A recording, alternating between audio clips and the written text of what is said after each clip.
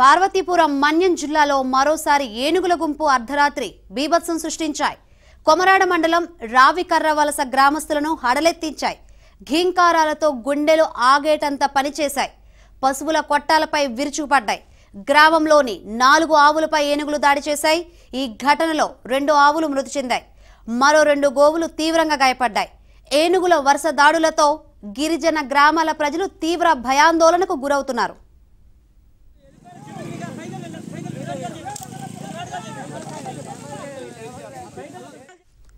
మరిన్ని వివరాలు మా ప్రతినిధి శ్రీనివాస్ నడి తెలుసుకుందాం. శ్రీనివాస్.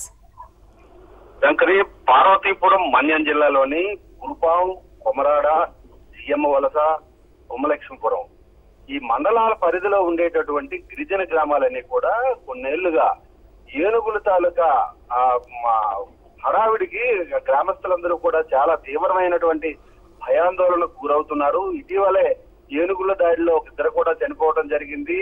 పంట నష్టాలు అయితేనేమి అదే విధంగా గ్రామాల మీద పడి ఆ పూరిపాకలు ఆవుల సాలను ధ్వంసం చేయడంలో కానీ ఏనుగులు చాలా దూకుడుగానే వ్యవహరిస్తున్నాయి. అయితే వీటిని ఇతర ప్ర- ఇతర ప్రాంతాలకు తరలించడానికి అటవీ శాఖ అధికారులు చేస్తున్నటువంటి చర్యల పైన మాత్రం అక్కడ ఉండేటటువంటి గిరిజనులందరూ కూడా పెదవిరుస్తున్నారు తీవ్రమైనటువంటి ఆందోళన వ్యక్తం చేస్తున్నారు. పలు సందర్భాలలో తెలుగుదేశం పార్టీతో పాటు మిగిలినటువంటి ప్రజా సంఘాలు రాజకీయ పక్షాలన్నీ కూడా ఐటీడీఏ దగ్గర జిల్లా కలెక్టర్ కార్యాలయం దగ్గర అనేక అనేక సార్లు తమ గోడు వెళ్ళబుచ్చుకున్నాయి అయినప్పటికీ కూడా అటవీ శాఖ అధికారుల చర్యలు మాత్రం కట్టి తుడుపుగానే ఉన్నాయని అక్కడ ఉండేటటువంటి గిరిజన గ్రామస్తులు అందరూ కూడా ఆందోళన వ్యక్తం చేస్తున్నారు. రాత్రి జరిగినటువంటి ఘటనతో ఆ రావిగర్ర వలసకు సంబంధించినటువంటి గిరిజనులందరూ కూడా అర్ధరాత్రి ఏనుగులు దాడి చేయడంతో తల దిక్కు పరుగులు తీశారు.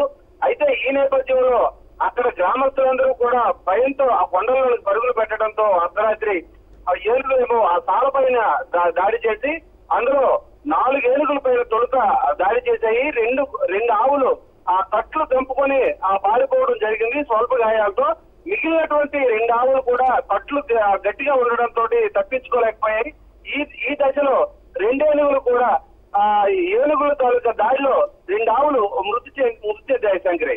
అటవీ శాఖకు సంబంధించినటువంటి అధికారులందరూ కూడా వెళ్ళి అక్కడ ప్రాథమికంగా జరిగినటువంటి నష్టానికి సంబంధించినటువంటి నివేదికలు తయారు చేయడం అధికారులు ఉన్నతాధికారులకు పంపడం వరకే పరిమితం అవుతున్నారు తప్పించి పరిహారం అందించడంలో కూడా ఒక అధికారులు స్థానిక ఉండేటటువంటి ప్రజాప్రతినిధులు విఫలమవుతున్నారని తీవ్రమైనటువంటి విమర్శలు ఆందోళనలు వ్యక్తమవుతున్నాయి Shankari.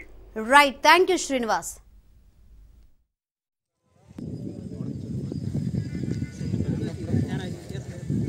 నీళ్ళు పుట్టింది కదా